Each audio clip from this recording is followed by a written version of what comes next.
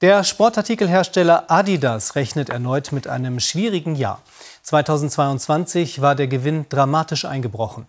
Grund ist auch die geplatzte Zusammenarbeit mit dem US-Rapper Kanye West. Adidas hatte die mit ihm entwickelte und beworbene Sportschuhreihe wegen antisemitischer Äußerungen Wests eingestellt.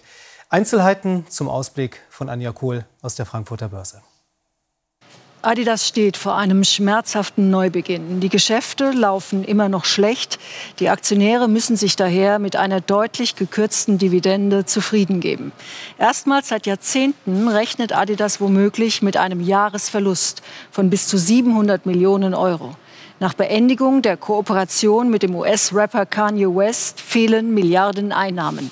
Zudem kränkelt das Geschäft in China weiter, wo Adidas seine Produkte meist nur mit hohen Rabatten verkaufen kann.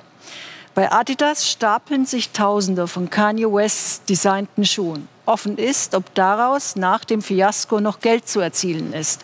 Große Summen fließen dennoch an Ex-Chef Kaspar Rohrstedt. Er erhält eine Abfindung von mindestens 12 Millionen Euro im Zuge der vorzeitigen Auflösung seines Vertrages. Der Wolfsbarsch gilt als Edelfisch. Gourmets schwärmen von seinem zarten weißen Fleisch und loben die Röstaromen, wenn er auf der Haut gebraten serviert wird. Blöd nur, dass der kulinarische Knaller viel zu oft in den Netzen der Fischer landet. Im Mittelmeer gilt der Wolfsbarsch als überfischt, wie übrigens rund ein Drittel aller Fischbestände weltweit. Um diese zu schützen und weiterhin so deliziöse Teller zu reichen, gibt es die Schuppentiere zunehmend jetzt auch vom Land. Florian Decker war mittendrin in Saarbrücken, wo der Fang statt aus freier Wildbahn nun aus dem Bassin kommt.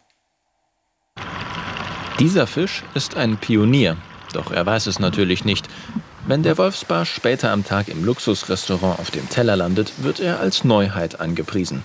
Denn er kommt aus einem Container, 600 Kilometer vom Mittelmeer entfernt.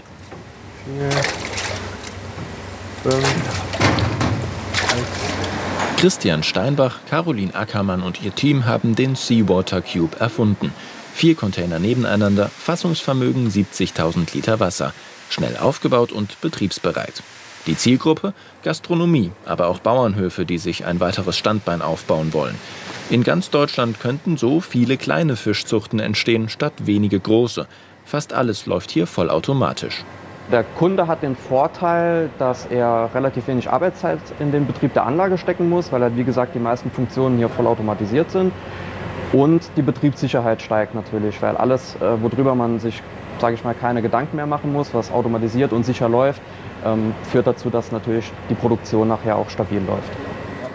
Als die Gründer vor einigen Jahren an der Hochschule über große industrielle Fischzuchtanlagen forschten, merkten sie schnell, in klein wäre es noch nachhaltiger. Denn die langen Transportwege fallen weg. Die vermiesen dem Barsch bisher seine Umweltbilanz gehörig.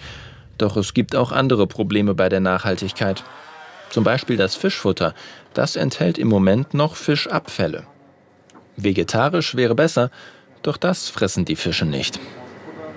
Die brauchen den Duft und einfach die Inhaltsstoffe, die aus den tierischen Proteinen kommen. Eine weitere Idee für mehr Nachhaltigkeit, das Abwasser als Düngemittel nutzen, doch das ist noch nicht marktreif. Eine dieser Fischzuchtanlagen von Seawater Cubes ist schon verkauft, zwei weitere sind im Bau. Investoren haben sie von ihrer Idee schon überzeugt. Nur viele Kaufinteressenten entscheiden sich noch dagegen. Zu hoch ist offenbar das Risiko gerade im Vertrieb. Einen mittleren sechsstelligen Betrag kostet die Fischzucht. Das macht den fertigen Fisch teurer als herkömmlichen. Und auch Abnehmer muss man erst einmal finden. So, einmal Fischlieferung. Hallo. Dankeschön. Im Restaurant Casino am Staden macht der Preis von 30 Euro pro Kilo nichts aus.